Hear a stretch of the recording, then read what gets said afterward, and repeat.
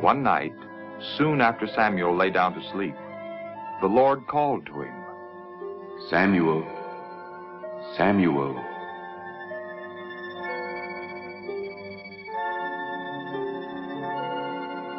Not understanding that God was speaking to him, Samuel hurried to Eli.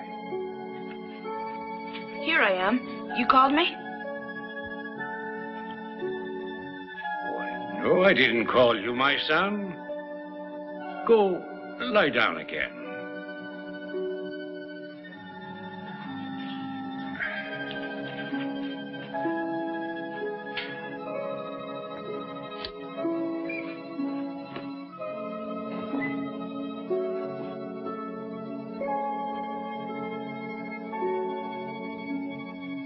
Samuel.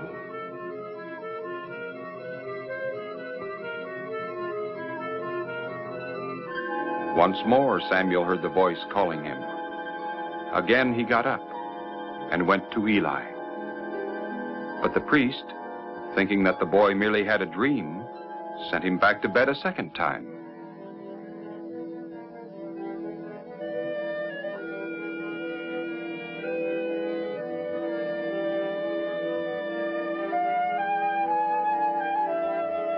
Samuel.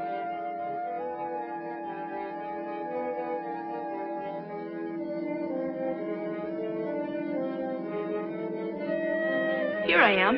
You called?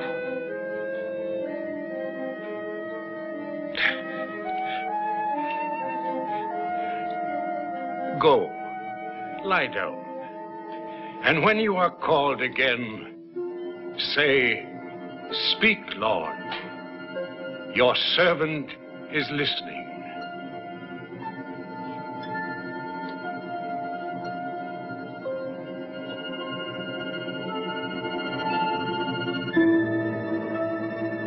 Samuel. Speak, Lord. Your servant is listening.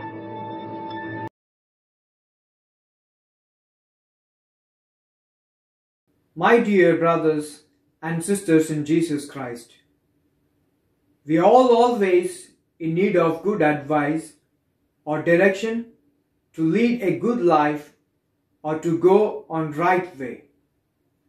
To lead us and to tell us what is right and wrong, time and again we need the people who show and teach us the right way.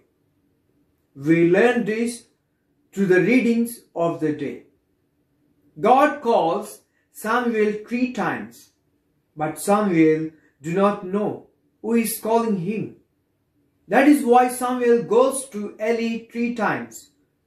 Eli says, I am not the one who wants something from you, but God. Eli tells Samuel about God.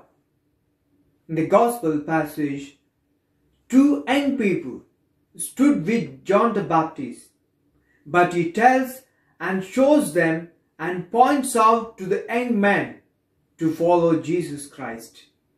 The two young men do not know anything about Jesus Christ, but they listen and follow the advice and guidance of the John the Baptist. Dear brothers and sisters, again and again, we need the people who give us instructions, who tell us what is important and what is right and what is not right. Who are these people for us? At all times, it is first of all the parents who show the children the way to faith, and the teachers and good friends who follow a part of our path and show it to the further and future. I'm sure most of us have come to believe in similar way.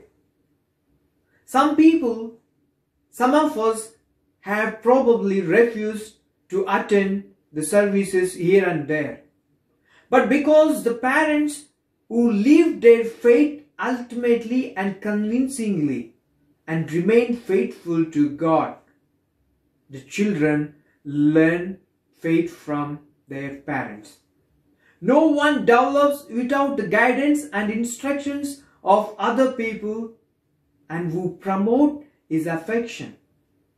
We should always be grateful for such people and for their instructions.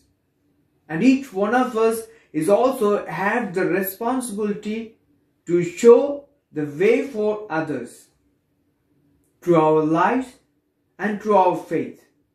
That is why we all need to pray for ourselves and to our dear brothers and sisters and follow the teaching and the instructions of the gospel.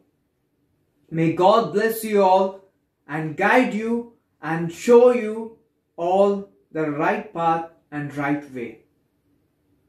Amen.